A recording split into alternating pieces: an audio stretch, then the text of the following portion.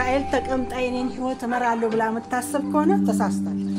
ናናዬ እኮ እናታችን ወደ አዛዥ ያደረገቻት እንቆቅልሽ ከእናቱ ወዱቱ መልሶ እናቱን ይመታ አንተ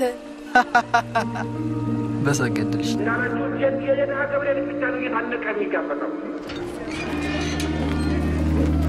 ህይወታችን እዚህ ሲኦል ነው። ነገር ግን ይህን ገሃነም የግድ ማሸነፍ ይኖርብናል አይደል? ልብ በሉ። ምንም አሁን ፊቶት የተከፋው በእኔ አልተማመን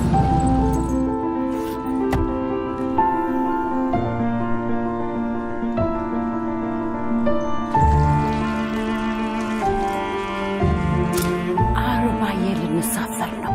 ኤሊስ፣ እኛ ከሄድን በኋላ ህይወት ዞር ብላ እንደማታተውቅም በይ በቃ በመጨረሻ ሁሉን እንዳ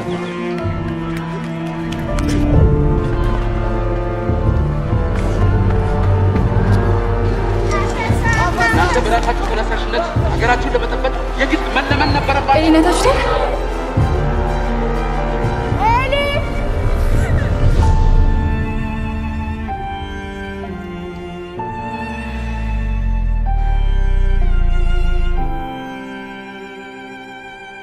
እኔም በአንቺ እድሜ እንዲህ ነበርኩ። በፍቅር ላይ የምጨምረው ነገር የለም።